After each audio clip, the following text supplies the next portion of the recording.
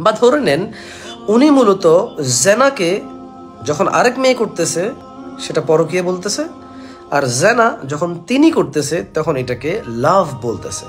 মানে একই কাজ উনি বিয়ের পূর্বে করেছে ওনারটা ভালোবাসা।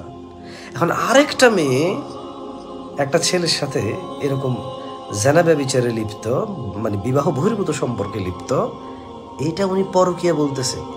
মানে এটা এটার এটা টাইটেল কীভাবে চেঞ্জ হলো? I don't know I mean কোন লজিকে তার মানে কি, আমার বোনরা বলতে চায় যে কারও বাবার ছেলের সাথে কথা বললে ভালোবাসা হয়, কারও বউয়ের স্বামীর সাথে কথা বললে পরকীয়া হয়, কারও বাবার ছেলের সাথে বিয়ে না করে সম্পর্ক করলে ভালোবাসা হয়, আর কারও স্বামীর সাথে বিয়ে না করে কথা বললে পরকীয়া হয়।